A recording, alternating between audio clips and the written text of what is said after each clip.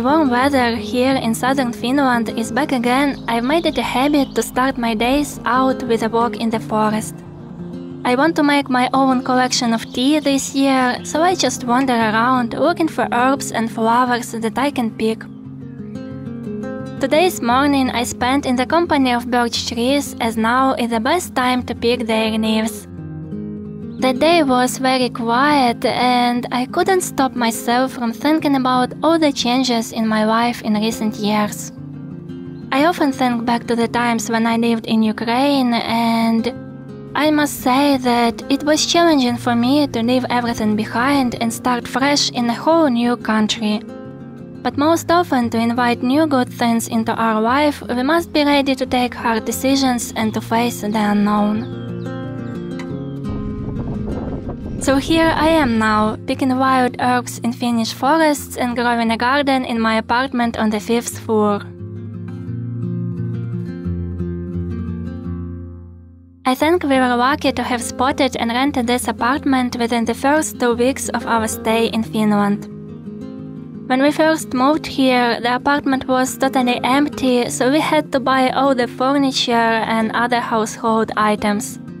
But over the past three years, we managed to fill it with everything we need and perhaps even more. We also ended up getting a lot of different tools, as there is always some stuff at home that needs to be fixed. We bought an old car and two used bicycles, and all of them require a lot of love and treatment. Our living room often becomes a hub for some ongoing projects, whether it's repairing a bicycle or something related to my gardening stuff. What a mess! This is what our living room looks like right now. It's a little cramped. The more space you have, the more you need. Recently we had our third anniversary in this apartment and Thinking about it, I realized that this is actually the place where I've stayed the longest in my adult life. When I turned 17, I left my parents' home, and since then, I regularly stayed in one place for more than a year.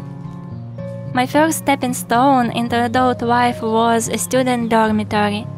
I shared a room with three other girls, though it seemed like cockroaches in that dorm claimed all the space as their own.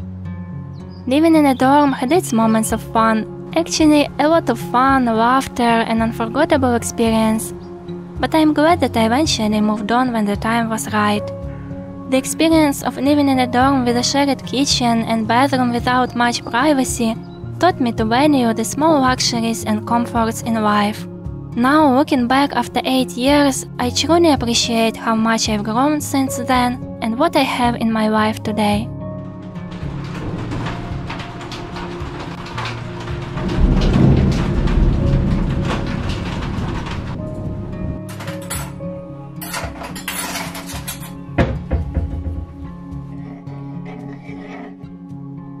Actually met my future husband back in those days. We both were young and broke, but as students we had an opportunity to rent a tiny apartment in another dorm for a very cheap price. It was very small and far from the best. This strange picture actually covers the holes in the wall. But for me, it was just the loveliest room in the world. I believe that it's not the expensive things that make a space truly special and turn it into a loving home, but the emotions that fill the space and the memories you associate with it. We didn't stay there for long, but the day we emptied it and moved out, I felt like a piece of my soul remained at that place forever.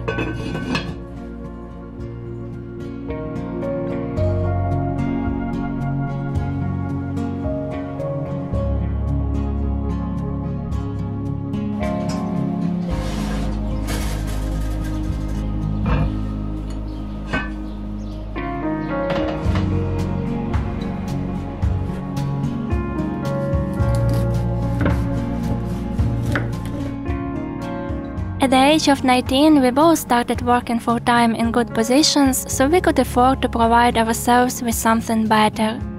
but we very much failed with our next rented apartment. I think the big mistake was not taking enough time to consider all our options. During the viewing of one apartment, the owner of it played some tricks on us, and before we even said yes, he was already preparing a rental agreement. Sadly, we fell for his manipulations.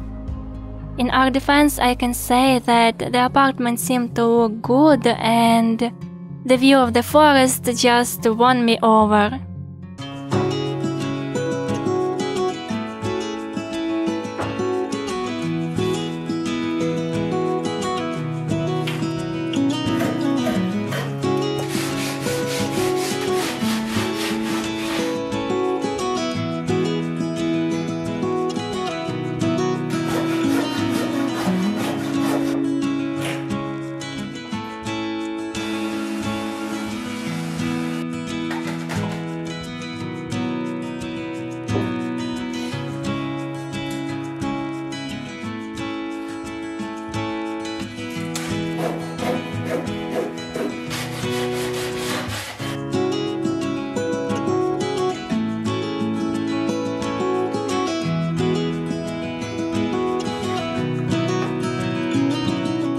But it turned out the place was very cold and uh, as we discovered later, the building itself had big issues with electricity and sewage pipes.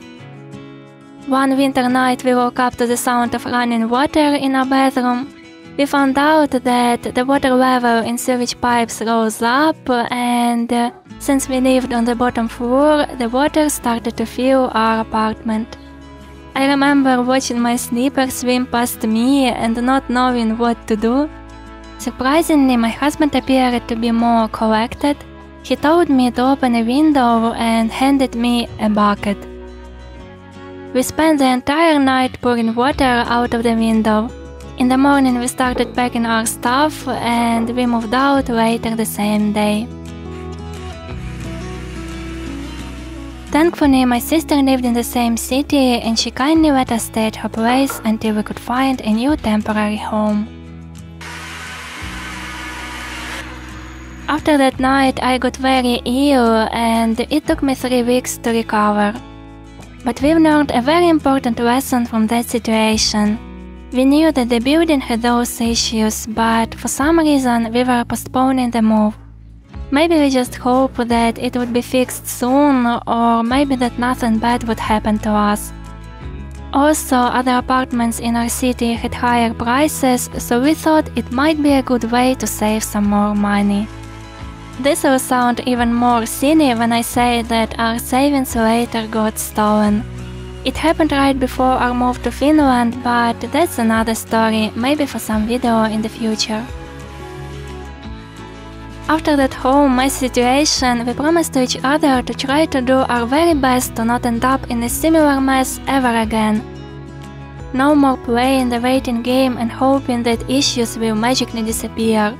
It was a lesson of importance to resolve issues as soon as they arise, not letting them grow into something bigger and create chaos in our lives.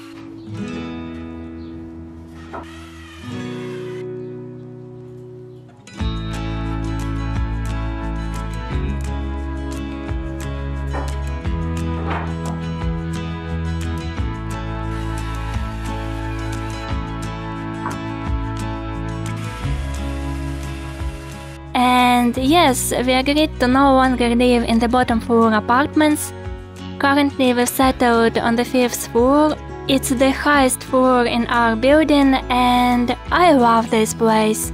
There is a big window in our living room with a view of a beautiful aspen tree and the wide open sky. Our balcony is very sunny, and my plants are so happy with it. They keep growing bigger every day and now I'm running out of space. Solve that, I decided to make a shelf. It was my first building project and it was a bit tricky to make this in an apartment, but I'm kinda surprised how it turned out. Let me guys know what you think about it. Thank you so much for watching this video. I hope you have a wonderful summer. See you soon. Bye.